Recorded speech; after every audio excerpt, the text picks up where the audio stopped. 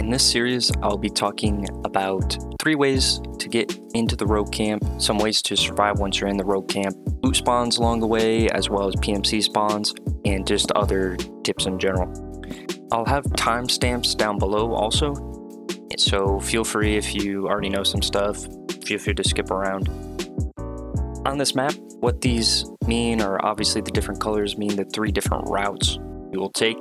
Today I'll be going over the beach route in the red. The lines are just the routes that you'll take to get there.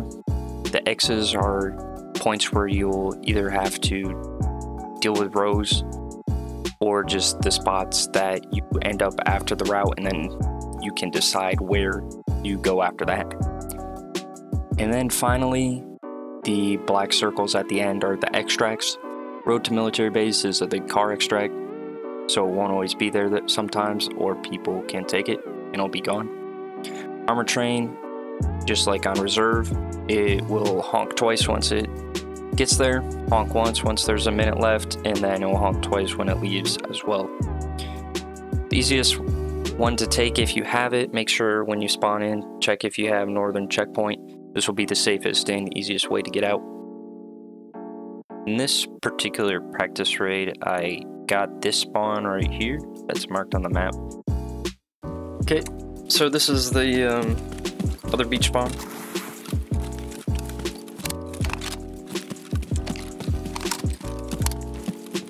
And so there's one in front. They spawn at those houses up in front, so there can't be people in front. Battery, car battery right in there. So like in those little broken crates, you can find some good stuff. Um, tools, uh, tools, materials, stuff like that. They can find some good stuff. And uh, the car probably won't have something. It did last time, it had the, the military radio. But it usually doesn't have anything, especially when, or it usually doesn't have stuff when there's no one in raid.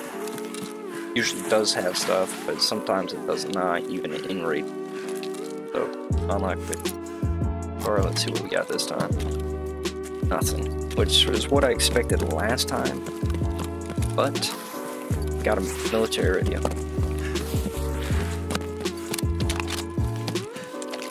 Alright. Let's try this again. First time I overpeaked the machine gunner. This time uh, the GL guy is up. I can show that. So 200, 200 sighting range. And a little bit. Alright, now we'll go.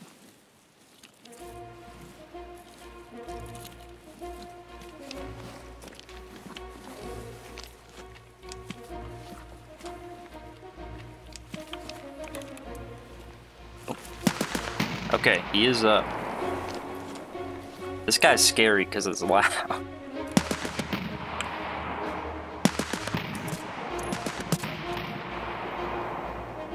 think I got him off the gun. I don't think I got him. Well, there's one thing you can do. I think task update. So I should be at 7 on this task. Uh, okay, I did get him. Tasks do update and offline, but they do not save progress. I'll just check this. Alright, I got him. Now I'm just gonna run. Oh, shoot. Alright, we're down. We're down now. Let's crawl.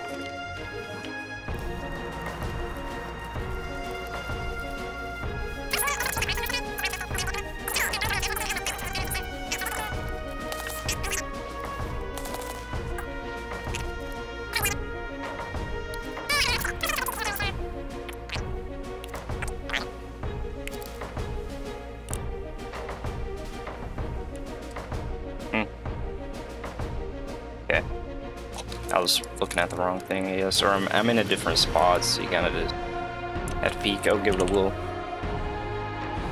extra time before I peek again.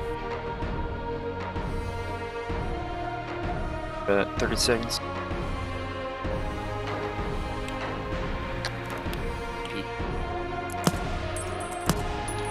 Got him. Alright. Basically, just don't. If that guy's shooting at you, don't peek it because he will just beam it. Give it 30 seconds, a minute, he'll de-aggro, then you can give it a peek. What you do not want to do is go up there because building one, if you go up here, building one guy will shoot at you once you're up by the truck, I'm pretty sure. And then if you try to go up here, not only will you get shot by the machine gunner, but you'll blow up to mines. There's mines all along this right here. Alright, so usually like to weave and wind through here, go to this spot, check the roof first. That looks clear, so then I look by this door. Usually can go outside this door or by this car. Doesn't look like there's any. And then there's some, sometimes in front of the building. By this truck. A few. Don't look like any can be out in front over here. Look like it. Can be on the roof. Be in this little parking spot. Parking place. Once you've cleared out these guys in the front, over here, what I like to do is go into building one, head across the street, go through building one, make sure there's no one here still, go through, make sure you clear out this machine gun right here, and then just travel along this fence to building 2. Deal with any rogues in here, there's usually one to two rogues in each building, sometimes there's none. Once you did that, and go through, make sure you clear out this MG. You want to head out from there, you got loot or whatever, just head out over here and then just make sure you quickly run through these gates because there is a machine gunner right here and if you're not quick hit you. There's loot in one of these crates stems and uh, high value items. And just head along this side over past here. You can wait for armored train if you don't have uh, northern checkpoint. But if you do just jump up on these logs and just head out you always can take the car as well. If it's up, you can see if it's up from back here. If you want to keep going through the rogue camp, you can just head out building 2. Make sure building 2 MG is down from here. And then just head into building 3. Then if building 2 MG is clear, you can head up onto the roof of building 3. This MG guy is clueless if you go up there, so you can go up there, take him out pretty easy. Then from the top of the roof, you should be able to clear out any machine gunners if you didn't already get them, including the GL guy.